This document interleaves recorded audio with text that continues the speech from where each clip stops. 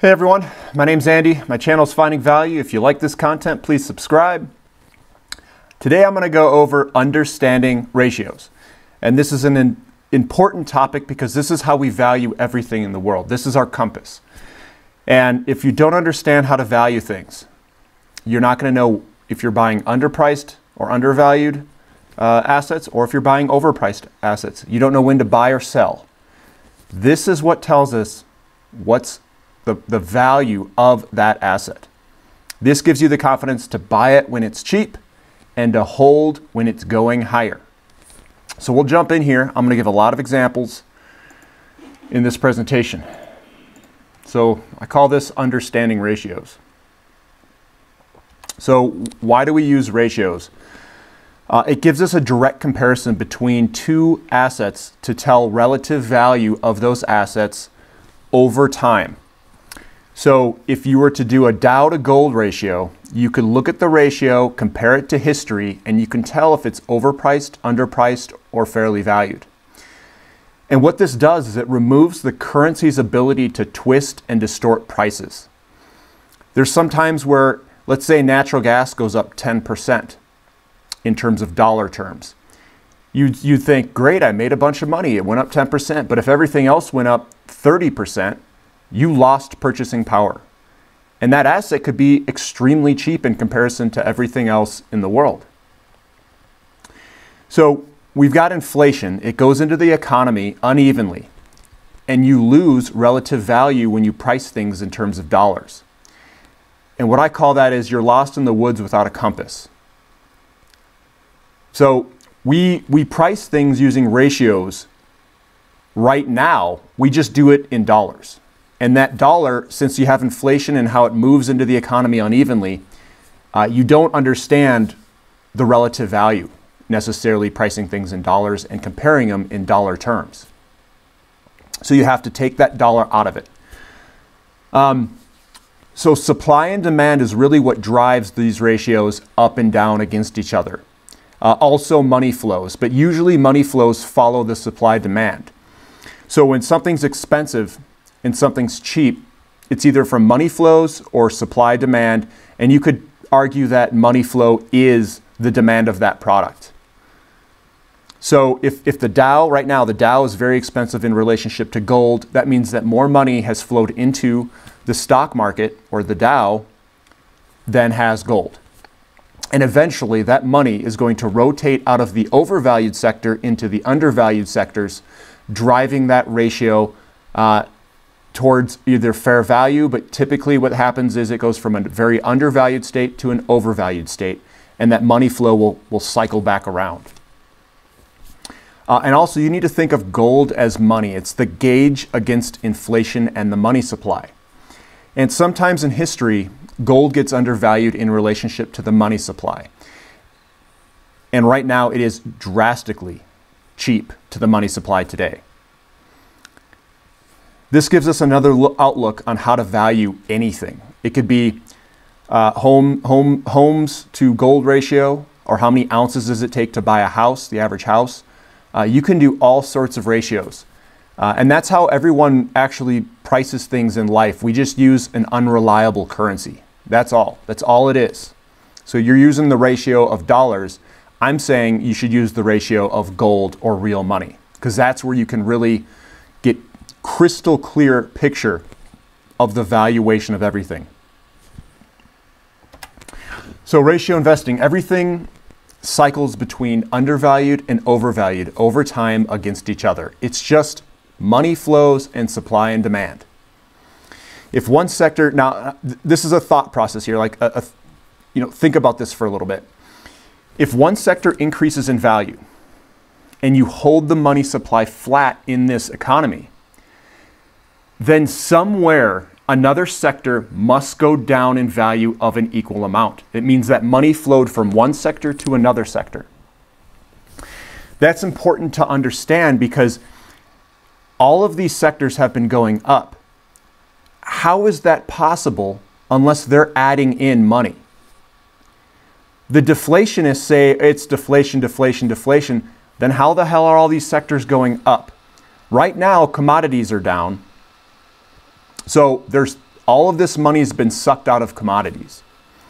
That money is going to rotate back into commodities because of the cycles that are happening. The cycle is you're going to run out of commodities, there's going to be drastic underinvestment.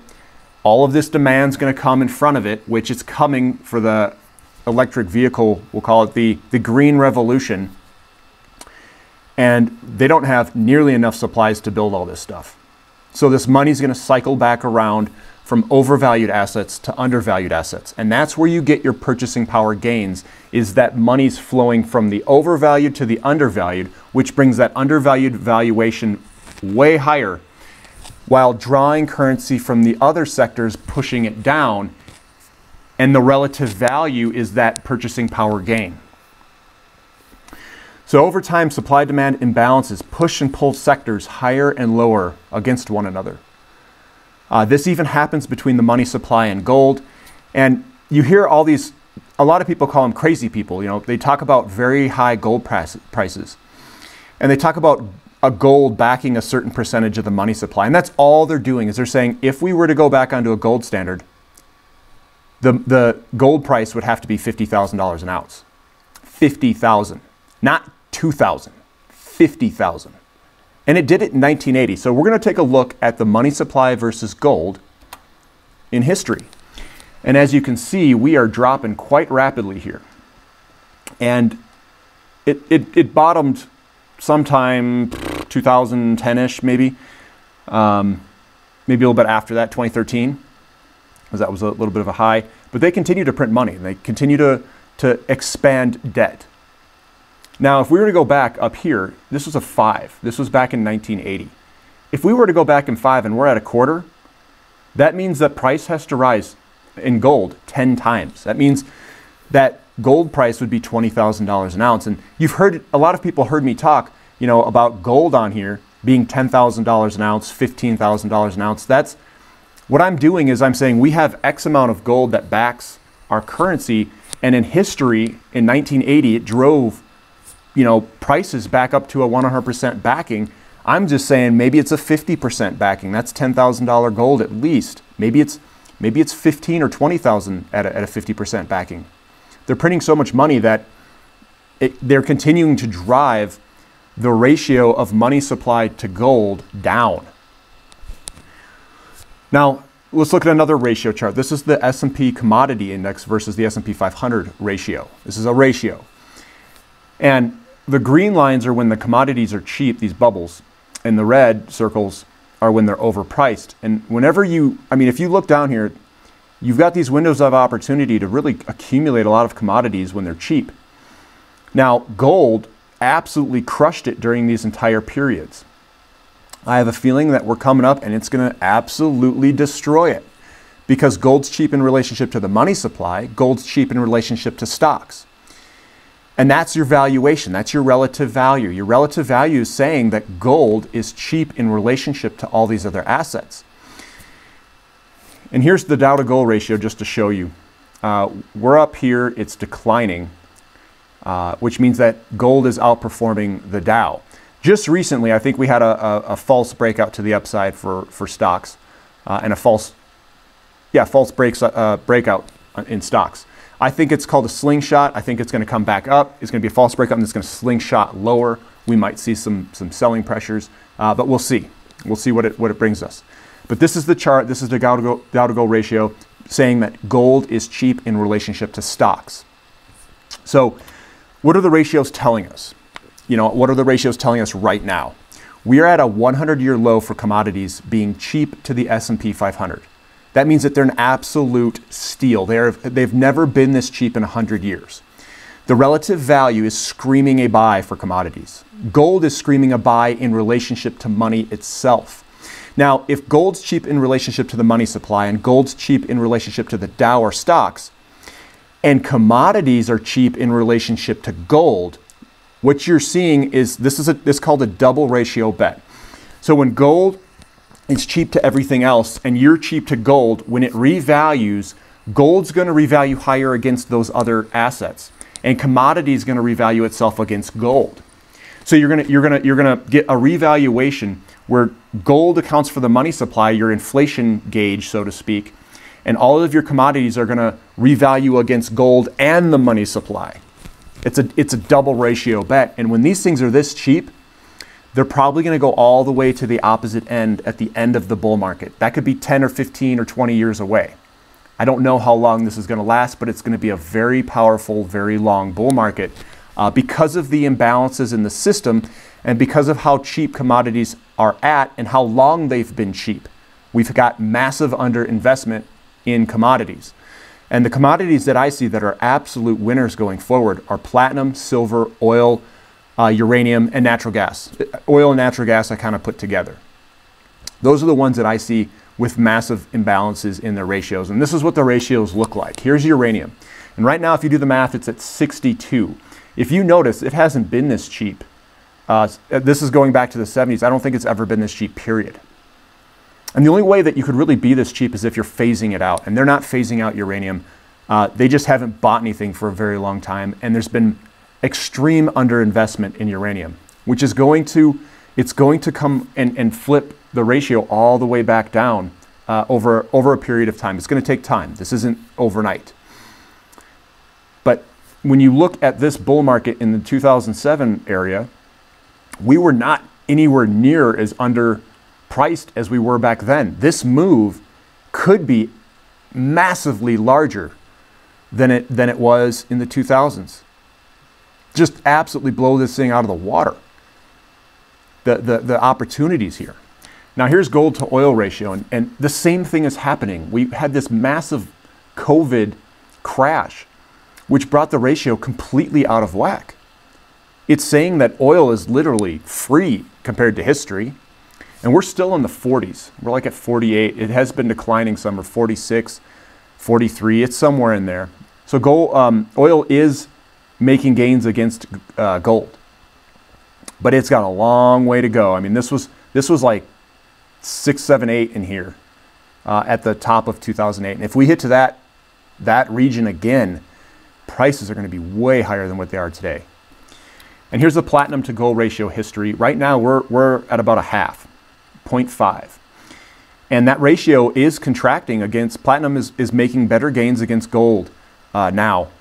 It broke out of its pattern, and I'm gonna sh I'll show everybody that. But in history, I mean, it's, got, it's been as high as three, which means platinum was three times the cost of gold. If gold goes to 10,000, three times the cost of gold means that platinum could be 30,000. I'm not saying that's where it's going. What I'm saying is it's possible. It is possible. And in this bull market, it could even go better than that. You don't, we don't know. We just know that this stuff is so underpriced and if it were to regain all of its valuation, gold could go to 50,000 and platinum could go at 150,000. Is that crazy? Maybe, maybe not. I don't know. We're looking at things in this in this world that are extremely underpriced. They're literally like free compared to history. So, you know, what are the ratios telling us today? Gold is cheap to the money supply and Dow. Commodities are cheap to gold. And during commodity cycle tops, we see huge reversals in valuations uh, against each other. So commodities are going to reprice themselves against gold, and gold's going to reprice itself against the money supply and Dow. Commodities could become expensive in relationship to gold at the end of the bull market.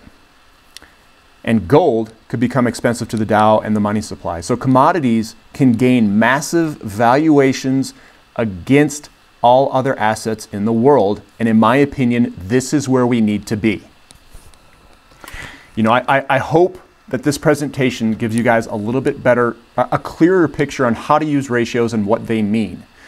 Uh, if you don't understand, keep looking at them, keep using them, and watching, watch them over time fluctuate against each other, uh, and, and then correlate that to price. Just, just watch them and, and, and, and learn. Because what you're going to notice is that you're going to say, wow, this one's really making gains against everything else. And that's, that should be the light bulb.